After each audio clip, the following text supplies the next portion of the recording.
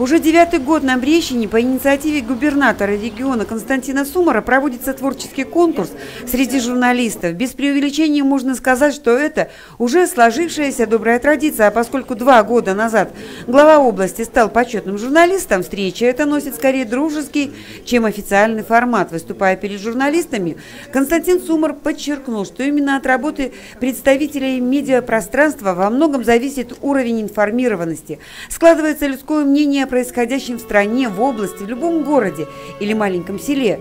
Четвертой властью называют журналистов, и именно они являются примами и виртуозами, учителями и судьями в решении многих вопросов, разрешении многих проблем. Поэтому столь важно уметь находить пути правильной подачи информации, уметь быть этичными и грамотными, чтобы не навредить, не скомпрометировать, не унизить и не оскорбить кого бы то ни было, рядового гражданина, либо высокопоставленного чиновника. Самое главное, считаю, э, вот задача, которую сделают и справляются с этой задачей наши средства массовой информации, это то, что они создают атмосферу такую э, не восприятие к тем недостаткам, которые есть э, местами у нас в Брестской области, и создать атмосферу, направленную на улучшение людей или на направление людей, на то, чтобы лучше работать, на то, чтобы были лучшие результаты.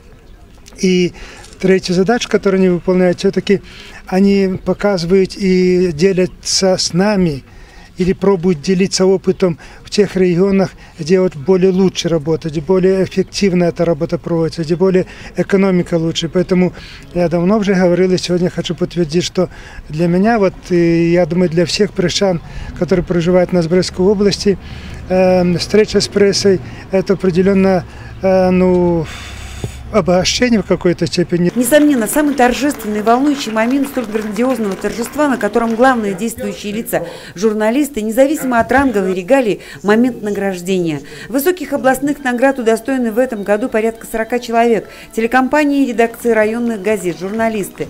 В группе электронных СМИ лучшими стали наши коллеги телерадиокомпания «Брест».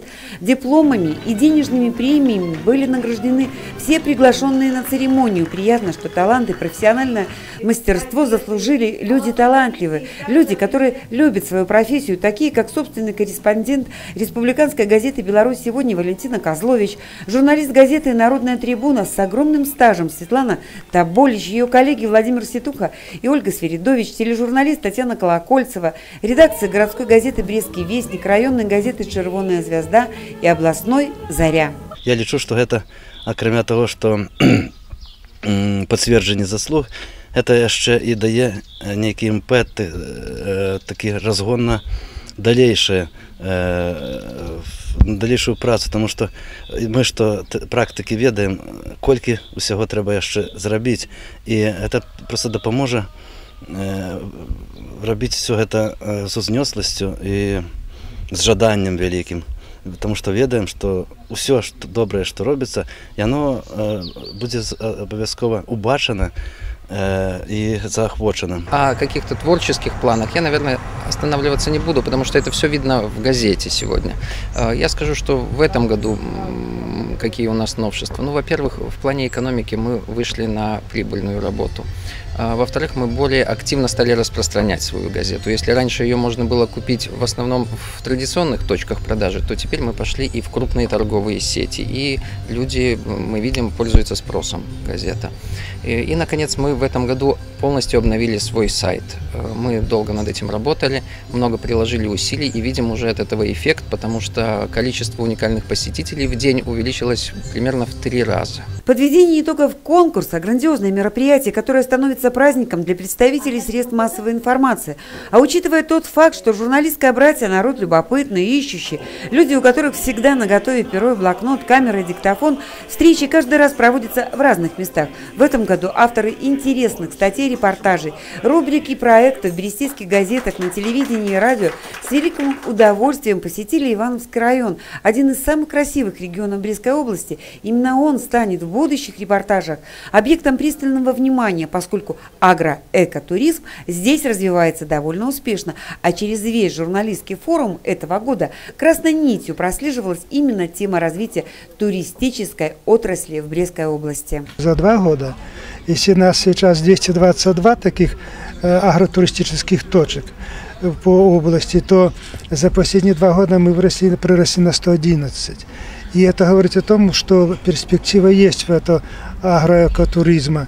И насколько она будет дальше увеличиваться, я думаю, что увеличение будет идти, но э, больше будет идти уклон на в какой-то степени на специализацию и на расширение услуг, которые будут предоставляться вот этими агроусадьбами. Именно в этом, я считаю, будет будущее, потому что сейчас они почувствовали, эти люди, которые занялись это, этим направлением оказания услуг, они почувствовали вкус к этой работе, не самое главное, почувствовали, что очень много есть желающих. На протяжении 9 лет региональный форум является эффективной площадкой для подведения творческих итогов, для заинтересованного обмена опытом главных редакторов, корреспондентов и фотографов, компьютерных дизайнеров. Много добрых слов прозвучало в адрес пишущих и снимающих людей, которые всегда на чеку, всегда в строю. Они журналисты, они заботятся о настоящем, они в курсе всех событий, они помогают и жить, и строить, а с хорошими строителями творить добрые дела легко. Сейчас я не вижу, например, у нас э, того э, работника средств массовой информации, которыми безразлично вот, э, ну, развитие нашей области, которые также переживают вместе с нами за те проблемы, которые возникают. И я думаю, что я всегда говорил, что в результатах нашей работы, конечно, львиная доля сердца, э, труда, который вложено, и души, и здоровья, конечно же, и работников средств массовой информации. Журналистика брестская тоже устремлена в будущее и в двух смыслах. Во-первых, потому что журналисты видят они замечают и отражают в своих публикациях те новые веяния, новые тенденции, которые намечаются и в области экономики, и в области культуры и так далее. Приятным дополнением к насыщенному дню стала концертная программа, подготовленная молодыми артистами и, конечно же, напутственные слова губернатора региона. Надо, чтобы мы больше показывали людей труда чтобы больше показывали передового опыта, чтобы мы воспитывали в нашем подрастающем поколении чувство патриотизма на примере вот нашей истории, которая история очень богатая. И самое главное, и показывали уже на примере вот этого нового нашего периода времени, который мы идем с вами уже около двух десятков лет, что мы можем работать.